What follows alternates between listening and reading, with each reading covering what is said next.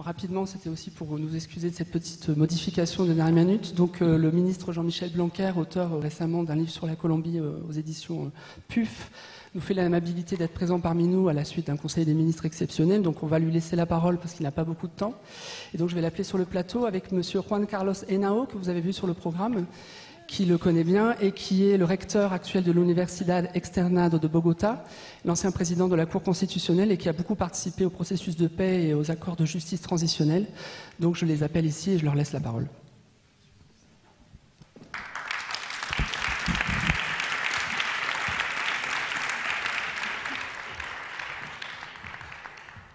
Bonsoir plutôt à toutes et à tous, Monsieur l'ambassadeur de la Colombie, tous les, restes des personnes qui ont organisé ces beaux colloques, les deux commissaires de la France et de la Colombie. Et voilà, comme on n'a pas de temps, alors je, m'arrête là. Et il faut vraiment. Et je m'arrête là. Et je ne sais pas, Jean-Michel. Pour, commencer, c'est une chose un peu bizarre, parce que c'est la première fois, on est copains, amis depuis 30 ans, je ne sais pas combien de temps, et maintenant il est ministre, voilà, c'est compliqué, hein, parce qu'on ne sait pas trop quoi dire, mais si elle est ministre, Jean-Michel, JM, euh, voilà, mais alors je continue de lui dire, Jean-Michel, excusez-moi, mais vraiment il me faut une casquette, quoi, parce que c'est compliqué la, la lumière ici.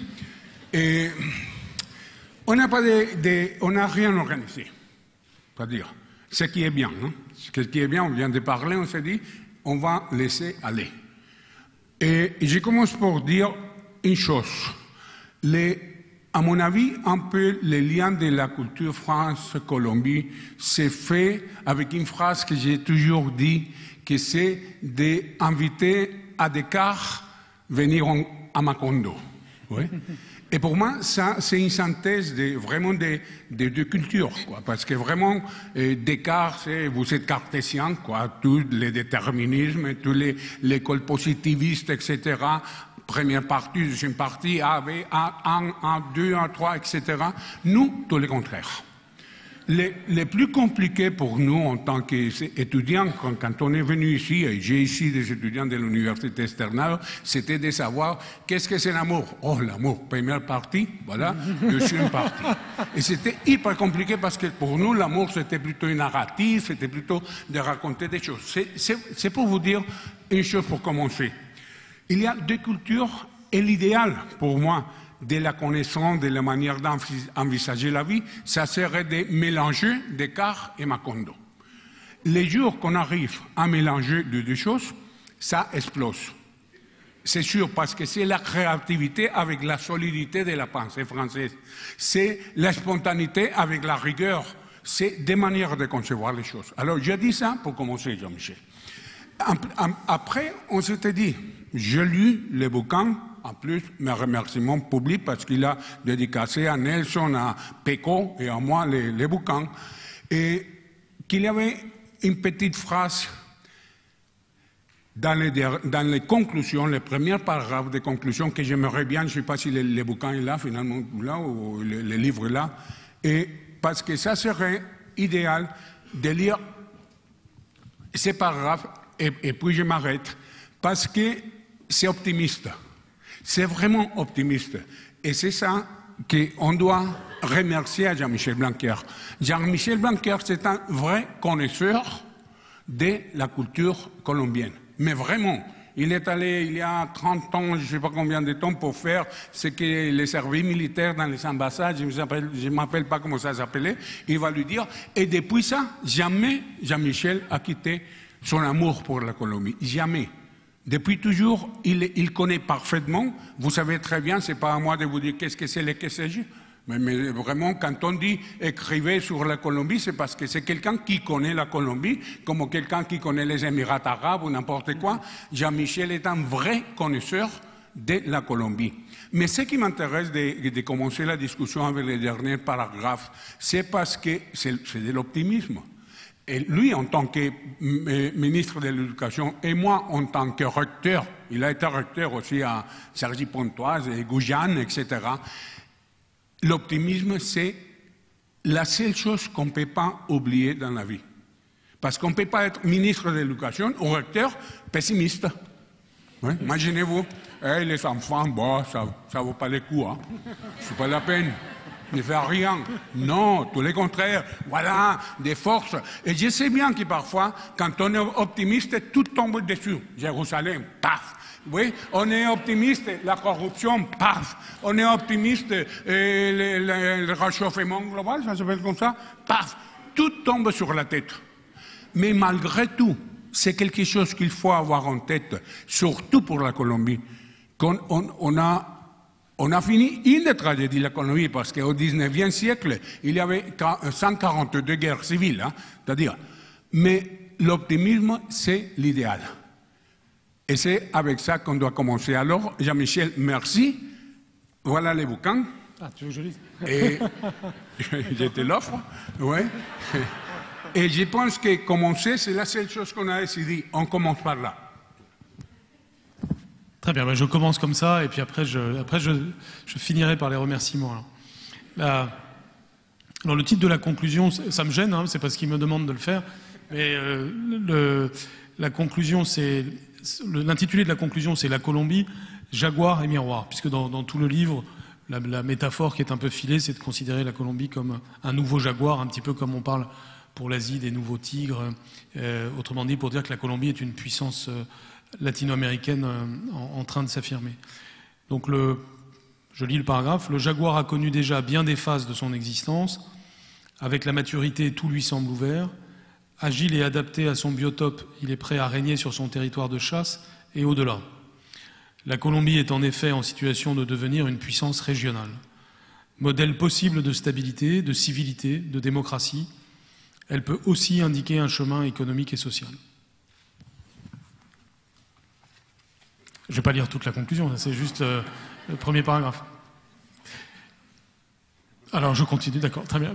D'abord, alors c'est vrai que la conclusion est optimiste et que je prends un risque en, étant optimiste, puisque nous, nous savons tous que la situation est faite de, nouveaux points de force, mais aussi de, difficultés qui, sont là depuis longtemps et qui ne sont pas toujours faciles à, surmonter. Mais je, remercie Juan Carlos de souligner l'importance de cet optimisme. Il vient de le faire d'un point de vue presque philosophique, euh, mais on peut le faire aussi pour, euh, pour la Colombie.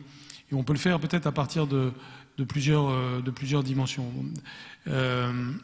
D'abord en, en, considérant qu'il y a des, des, atouts structurels de la Colombie qui, moi, m'ont toujours frappé. C'est-à-dire que le, je vais dire des évidences pour tous ceux qui connaissent la Colombie, mais je pense qu'elles sont à rappeler, surtout pour, pour, pour un moment important comme celui-là où, on doit rendre hommage à tout ce qui s'est fait au titre de, l'année France-Colombie. Mais je pense que la, Colombie a d'abord des atouts naturels totalement évidents, avec notamment cette caractéristique d'être le seul pays d'Amérique du Sud à avoir une côte pacifique et une côte atlantique, ce qui est, euh, un atout potentiel euh, considérable. Elle a une diversité de paysages qui est unique. Euh, il y a très peu de pays au monde, et c'est un point commun d'ailleurs avec la France, qui est un peu dans cette situation dans le contexte européen, à avoir autant de, à avoir des paysages aussi variés, à avoir une telle diversité des altitudes et donc des biotopes pour le coup, et, avec tout le potentiel que cela signifie sur, sous bien des aspects. Elle est aussi dans une position géostratégique très importante, non seulement à cause des deux océans, mais aussi dans, dans sa position nord-sud. Elle a des atouts démographiques excellents. Elle a des atouts s'agissant de sa population qui sont là aussi hors du commun. Euh, ce qu'on doit toujours rappeler d'ailleurs d'un point de vue euh, historique, c'est là aussi une évidence, mais que, souvent on, ne voit pas, c'est qu'en ayant été situé dès les origines dans une sorte d'entre-deux euh, pour les empires précolombiens, elle a une, autrement dit au nord de l'empire Inca et au sud des, empires aztèques et de la civilisation maya, sans jamais y appartenir. ceci a provoqué une forme de diversité euh, des, populations et une diversité des cultures, euh, mais aussi finalement l'absence d'une culture d'État forte qui préexistait à la, conquête euh, européenne, puisqu'il ne faut jamais oublier qu'il y avait une réalité impériale, une réalité d'État, de construction étatique dans, dans une partie de, de ce qui est aujourd'hui l'Amérique latine. En étant dans cette, cette situation, eh bien, elle ouvre un chemin des possibles de construction politique euh, qui est extraordinaire. Et c'est d'ailleurs sans doute pas pour rien que ça a été l'épicentre ensuite euh, des, indépendances. Donc il y a un potentiel humain qui est exceptionnel et dont la traduction contemporaine, c'est aussi la richesse euh, des ressources humaines en Colombie. Ça, tout le monde le voit, qu'on se place sous un angle culturel ou sous un angle économique, il y a une force des, des ressources humaines, une qualité humaine tout simplement, qui se traduit aussi par une qualité professionnelle qui se voit aujourd'hui dans un certain développement économique et qui se traduit aussi par la qualité académique. Et une des choses frappantes en Colombie, c'est le grand nombre d'universités et la qualité d'une bonne partie des, universités, et euh, pas seulement à Bogota. Cette qualité humaine, elle s'accompagne de l'équilibre géographique. Il y a un problème que beaucoup de pays d'Amérique latine connaissent, ou même beaucoup de pays au monde connaissent, que la Colombie n'a pas ou a moins, qui est la domination de la capitale la domination de la capitale, là aussi, euh, c'est une réalité pour la plupart des pays d'Amérique latine. Dans le cas de la Colombie, même s'il y a une montée en puissance de Bogota depuis une vingtaine d'années, il y a quand même un certain équilibre entre Bogota, Medellín, Cali et, Barranquilla en particulier, qui fait que le développement est assez, est assez équilibré. C'est un, un, atout très fort. Et donc, si on, je ne, je ne dis pas tous les atouts en disant ce que je viens de dire, mais quand on accumule tous les points que je viens de dire, c'est-à-dire les atouts historiques, les atouts économiques, les atouts culturels, les atouts humains tout simplement, on a en fait un potentiel colombien qui est, à mes yeux, absolument considérable, a fortiori maintenant si on considère la taille de la population, sa croissance raisonnable actuelle, rapportée à la taille du pays, deux fois la France, euh, avec encore euh, bien des choses à, faire euh, pour le déploiement de l'ensemble de son territoire.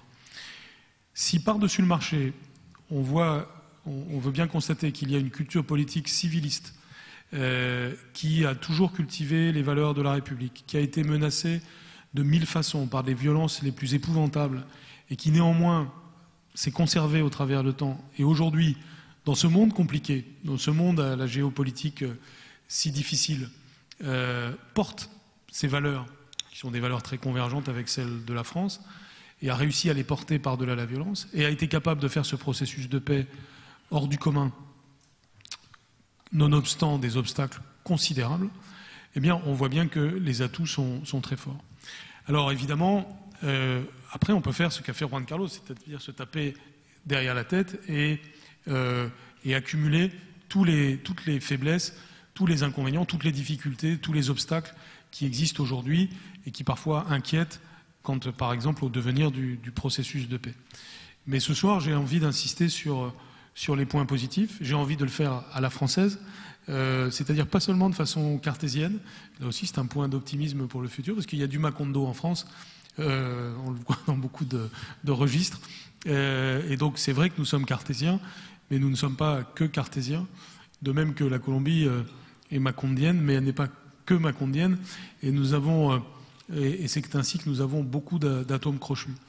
Et donc, pour, pour terminer ce propos liminaire, euh, je, voudrais déduire de ce que je viens de dire l'immense potentiel aussi de, l'amitié entre la France et la Colombie. Euh, d'abord parce que cette relation France-Colombie, elle est, elle est, si j'ose dire, naturelle. Elle est quelque chose que, que, chacun peut ressentir, qu'on soit français ou qu'on soit colombien. Moi, du premier instant où j'ai mis le pied sur le sol colombien, j'ai assez vite euh, saisi cela, et c'est ce qui fait que je suis toujours resté très, très, très fidèle et attaché, profondément attaché à la Colombie, parce qu'on sent tout simplement à la fois ces immenses différences entre la France et la Colombie, mais en même temps, plus encore que les différences, en réalité des, points communs, des atomes crochus euh, qui sont considérables. D'abord parce qu'il y a des points communs sur les atouts que j'ai mentionnés tout à l'heure, qu'ils soient géographiques, politiques, euh, historiques. Il y a aussi des racines communes. la République euh, colombienne s'est fondée avec beaucoup de cousinage avec euh, les, fondations de la République française.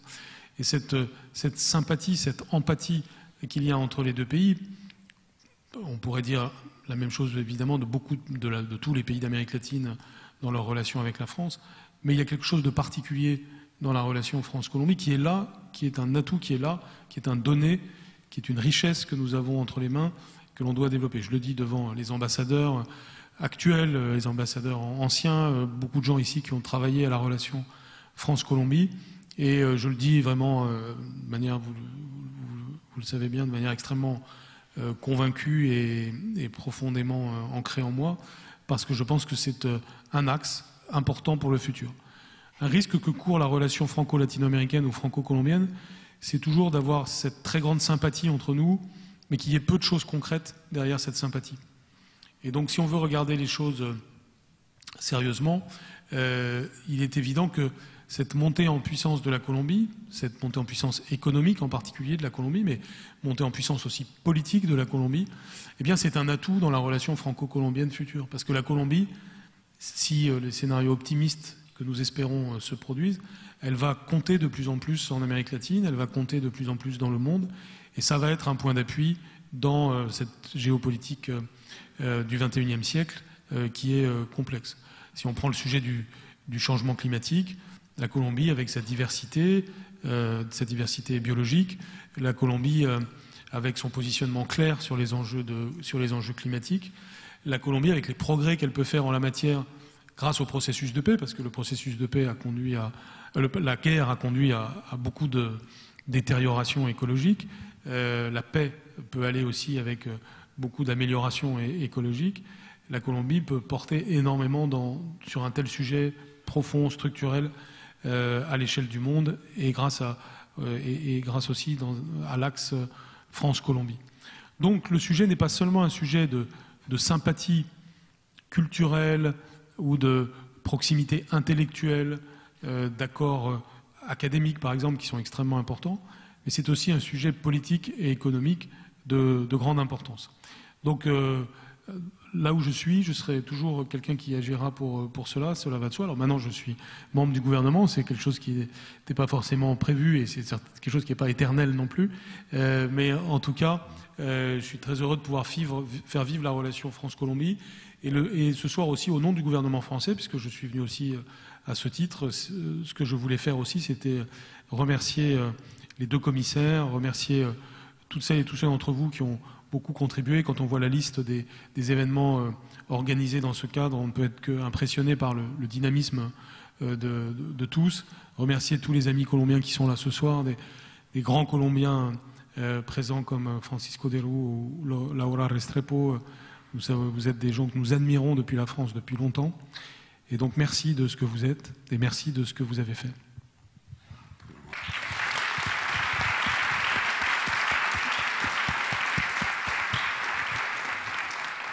Voilà, que, de remerciements pour, Jean-Michel, pour l'optimisme qu'il nous, nous, donne, prudent, évidemment. Et là, je vais euh, euh, profiter pour faire une petite synthèse, et puis je te fais une question, je te pose une question. Comment ça va maintenant le problème de la paix en Colombie? Et Ça va bien. Hein? Ouais, ça va bien. C'est-à-dire, on ne peut pas dire que c'est super, on ne peut pas dire que c'est super, mais en tout cas, trois choses pour vous donner l'actualité. L'actualité. Première chose, la, Cour constitutionnelle a déclaré la constitutionnalité d'une réforme à la Constitution dans laquelle est marqué que dans les trois prochains gouvernements, c'est-à-dire 12 ans, 12 ans, parce que c'est 4 ans chaque euh, mandat, on ne peut pas toucher le traité euh, de paix.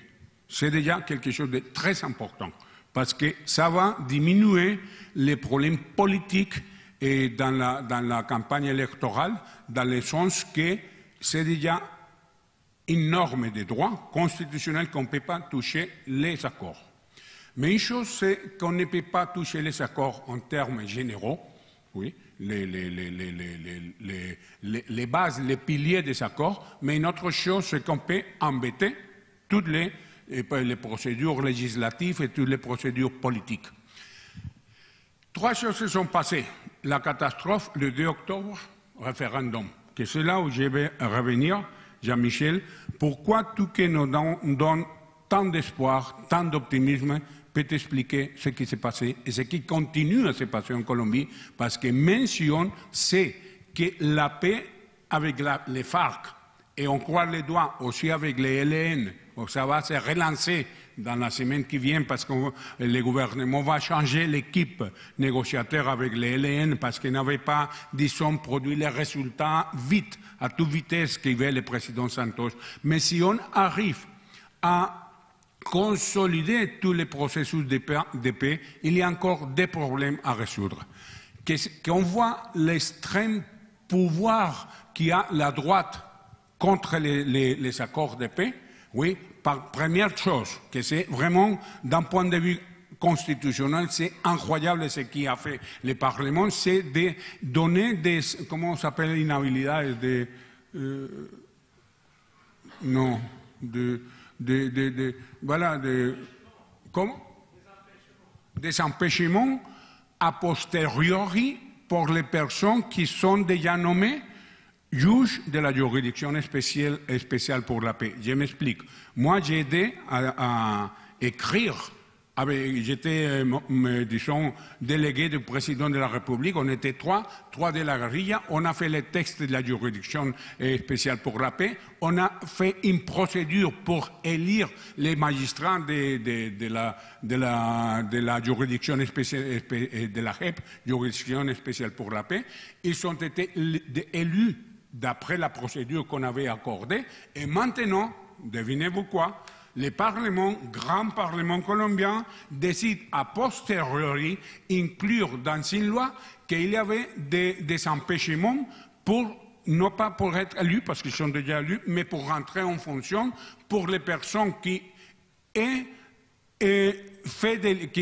ont fait des litiges contre l'État, qui ont fait des litiges en défense des droits de l'homme, qui ont fait des litiges devant la Cour interaméricaine des droits de l'homme. Pourquoi? Pour empêcher de se mettre en route, de se mettre en fonction à à peu près 25 des 40 personnes qui ont, été nommées. Les combles, quoi. C'est-à-dire, vraiment, c'est impressionnant l'inconstitutionnalité qui a produit le Parlement. ça n'a aucune justification, seulement la peur oui, qu'il manipule d'une manière extrême. Je reviendrai si on a le temps sur ça.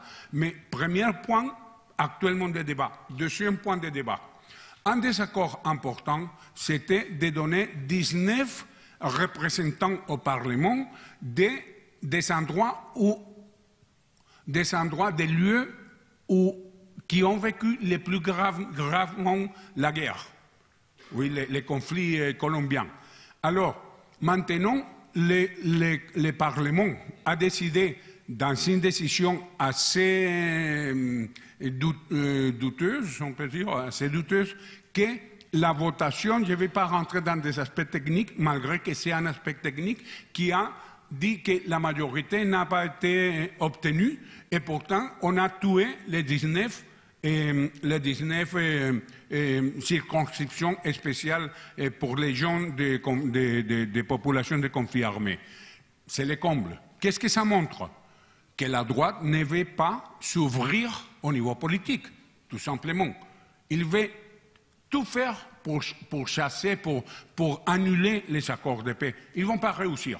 Là, je reviens optimiste parce qu'ils ne pourront pas réussir. Mais même si quelqu'un de l'opposition aux accords de paix est élu président de la République, ils ne pourront pas annuler tout l'accord qui a fait le gouvernement Santos, mais malgré ça, ils pourront quand même empêcher de développer beaucoup de choses. Alors, dans ce contexte, je te dis, Jean-Michel, pourquoi tu penses que, avec tant de, atouts qu'on a, la nature, je ne sais pas quoi, je ne sais pas quoi, ce que tu viens de dire, on a ces réalités, c'est-à-dire la réalité, encore fois, paquetée. Oui, oui, la paix, oui, la paix, mais la paix à quel prix? Combien on a lutté pour la paix? Et maintenant ils sont en train presque de la détruire avec les référendums, avec les parlements. Et Bargadiera, c'est parti du gouvernement, etc. C'est hyper compliqué. Pourquoi tu penses que ça se, passe en Colombie? Bon, je, n'ai évidemment pas de réponse euh, plus, plus fine que celle que tu pourrais avoir, mais le, je pense que le, D'abord, la Colombie, il y, a, des facteurs qui sont comparables à ce qui se passe dans d'autres pays, puis il y a des choses propres à la Colombie. Euh, ce qui s'est passé avec le référendum peut se comparer à d'autres phénomènes qu'ont connus d'autres pays lorsqu'ils ont fait des consultations sur, euh, des, sujets euh, comparables. même la France, lorsqu'elle a fait un référendum sur la Constitution européenne, a, finalement vu la victoire du non. Et nous savons bien que dans ce genre de référendum, le non est un non beaucoup plus de protestation contre toute une série de choses qu'un non nécessairement sur, sur le processus de paix en, tant que tel. Et donc il y a désormais des grands risques à recourir au référendum parce que la, réponse donnée n'est pas forcément une réponse à la, à la question posée. Euh, on ne peut pas s'abriter derrière ce seul argument, mais il est quand même très important. On sait très bien qu'on euh, a eu des secteurs euh, en Colombie qui se sont mobilisés pour le non sur des points précis, sur des choses supposées qui étaient impliquées par le traité de paix et qui ont fait basculer le, non. de la même façon, dans ce genre de phénomène, quand il y a un non à un référendum, on voit aussi une trop faible mobilisation du oui, parce que par un trop grand optimisme pour le coup, par un trop grand, une trop grande confiance en soi. Le camp du oui, d'une certaine façon, c'est auto-intoxiqué par les sondages, c'est auto-intoxiqué par sa certitude d'avoir raison, et euh, c'est toujours une mauvaise chose, notamment sur le plan électoral. Et ça, ça a évidemment été euh, euh, à l'origine de la surprise de ce qui s'est passé. Ensuite, il y a des phénomènes plus propres à la, à la Colombie. Bon, il y a d'abord le rôle personnel de Alvaro Uribe avec tout le, tout le crédit qu'il a dans une partie de la population. je pense que s'il ne s'était pas autant investi dans le nom, euh, le nom ne l'aurait sans doute pas emporté. Je pense que c'est un point important. Euh, et, il y a quelque chose là qui a été euh, raté dans la capacité à mieux unir la société colombienne de la, gauche à la droite sur les enjeux du processus de paix. Il est fort dommage que finalement Santos n'ait pas réussi à, impliquer et que Uribe n'ait jamais joué le jeu de, ce, processus de paix. Mais sans doute pour des raisons très profondes euh, qui sont d'ailleurs de, différents ordres. Donc il y a des, raisons politiques euh, immédiates qui, peuvent aussi expliquer ce qui s'est passé. Ensuite, je peux, et c'est peut-être la réponse la plus, importante, euh, je pense qu'il y a une difficulté à se, projeter dans le futur de manière optimiste, constructive, quand on a connu des décennies de, violence. Donc on a le sujet qui est un sujet là aussi pour toute société, mais particulièrement pour la société colombienne, qui est la question de la confiance. Est-ce que la société colombienne a suffisamment confiance en elle-même? Est-ce que les acteurs de la société colombienne ont suffisamment confiance? Dans tout processus de paix, il y a un sujet de rétablissement de, de la confiance. Il y a le fait que, on, c'est ce que disait Olivier Compagnon tout à l'heure, euh, on, on unit la société s'il y a une commune vision du futur, une commune une base de projection dans le futur partagée. il y a rupture, il y a depuis longtemps eu rupture de cela au XXe siècle dans la société colombienne, et aujourd'hui, il y a en quelque sorte une volonté de recoudre, et cette volonté de recoudre suppose d'arriver à partager un état d'esprit de, confiance. Et au moment du référendum, ce qui s'est vu, c'est que euh, on était dans une situation intermédiaire en matière de rétablissement de la confiance, et les enquêtes le montrent. C'est-à-dire qu'il y a d'énormes progrès en la matière, des progrès politiques, juridiques, euh, mais s'agissant de la dimension sociale et culturelle du sujet, le progrès, évidemment, euh, va beaucoup plus lentement. Mais ce qui est euh, extraordinaire, c'est de voir que ça, que ça se poursuit quand même. Et ce qui est intéressant, et c'est intéressant en t'écoutant, Juan Carlos, ce qu'on voit, c'est le rôle de la Cour constitutionnelle dans ce cadre-là. C'est vraiment très intéressant sur le plan politique, démocratique, institutionnel de voir comment on a une temporalité politique qui correspond aux différents mandats présidentiels, donc qui est plutôt de, court terme, et puis une temporalité euh, constitutionnelle qui est de plus long terme et qui essaye de tracer des sillons qui perdurent par-delà les, alternances politiques. Et euh, ça nous montre bien les, différentes dimensions de la démocratie. Il y a des, dimensions politiques, évidemment, avec les élections, mais il y a aussi une dimension juridique et, qui, et qui essaye qui, conduit à, créer des garanties euh, de droit euh, sur la durée et dans la lignée de la Constitution de 1991. Et la Colombie est extrêmement intéressante sur un plan mondial de ce point de vue-là parce que c'est un des pays qui a le plus euh, évolué dans sa capacité à articuler approfondissement de la démocratie politique et approfondissement de la démocratie juridique, c'est-à-dire la garantie des droits, et, et donc articulation entre des temporalités différentes. Euh, c'est très subtil, ça, n'est pas exempt de rapport de force politique, mais c'est une, alchimie intéressante et on voit bien que de ce point de vue-là, la, la, Colombie progresse euh, pas à pas et que le référendum a porté un coup extrêmement sévère euh, au processus de paix, mais pas un coup mortel. Et ça, je crois que c'est intéressant. très intéressant, Michel. Et, très intéressant, mais je vais remarquer une chose. C'est-à-dire que ça nous manque une vision commune de l'avenir. Et c'est vrai, du son. Mais en même temps, ce n'est pas vrai. Pourquoi Je pense que finalement, ce n'est pas vrai? Parce que la division qui existe, c'est une division entre l'établissement, l'establishment. Ce n'est pas, pas vraiment une vraie opposition, parce qu'on ne peut pas dire que le gouvernement d'Uribe et le gouvernement de Santos sont absolument différents, sauf la paix. Du reste, quoi, au niveau économique, à peu près, je ne suis pas spécialiste dans ce sujet, mais je peux dire que vraiment il n'y a pas une confrontation entre les oui et les non, qui va continuer dans la campagne électorale. Alors, à partir de là, je veux dire que le problème, c'est comment peut-on, à ton avis, surmonter une division qui n'est pas vraiment profonde. Et pourquoi j'ai dit qu'il n'est pas vraiment profonde? Parce que ce n'est pas le modèle d'État ce n'est pas le modèle économique qui est en jeu. Pas du tout, pas du tout. C'est tout simplement que 7000 personnes déposent les armes qui viennent dans la société et qui s'intègrent politiquement. C'est le point. Du reste, on est même la religion, pas comme ici en France, même la religion, c'est commune, euh, c'est-à-dire beaucoup, je ne le dis pas pour discriminer quelqu'un, mais la culture, c'est à peu près la même chose les, institutions sont similaires, les pays, c'est un pays national, pas fédéré, etc. Alors pourquoi la grande division et les grands problèmes de la Colombie restent vraiment les problèmes du processus de paix? Comment tu peux expliquer ça?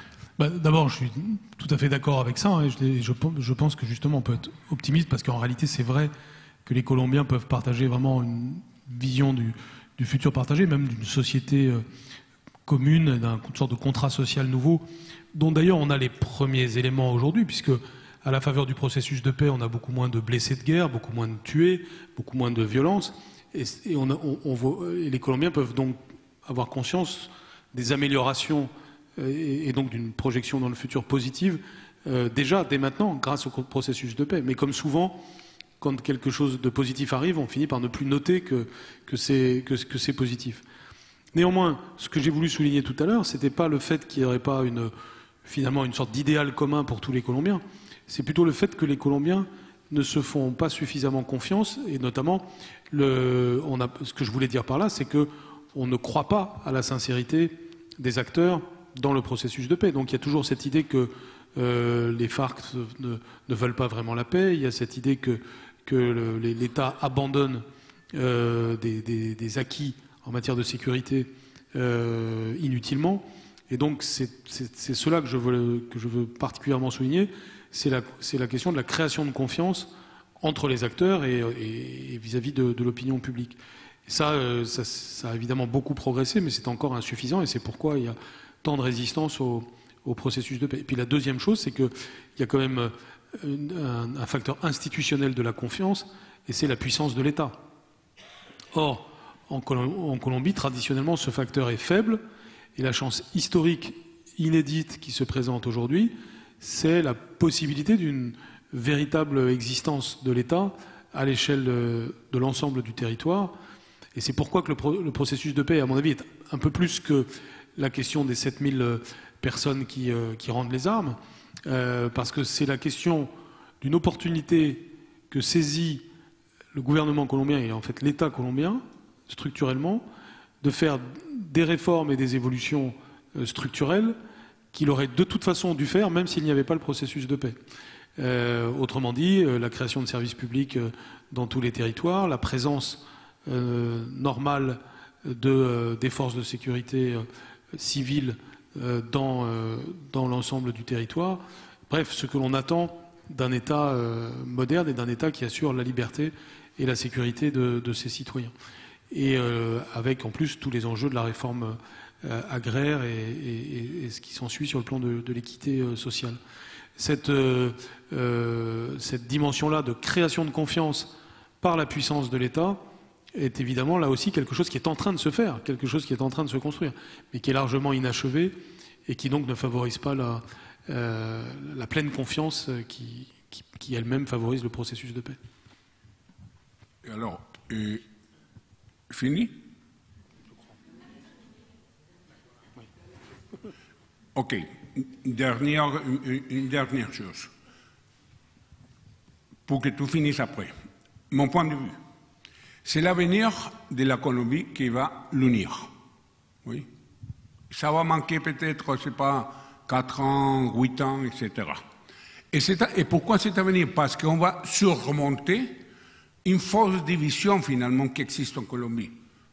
Si la galerie peut rentrer ou pas, voilà, ça a été un peu comme, comme le fantôme qui est toujours là dans l'histoire récente de la Colombie. Mais si on voit à 20 ans, à 15 ans, même pas, à 10 ans, quand la guérilla soit intégrée dans les parlements, quand les, processus de paix, c'est déjà quelque chose du passé, je crois qu'on va revenir à une union qui c'est bien possible et à une discussion beaucoup plus démocratique parce qu'on aura de nouveaux, de, nouveaux acteurs dans le pays, comme par exemple les partis politiques des FARC.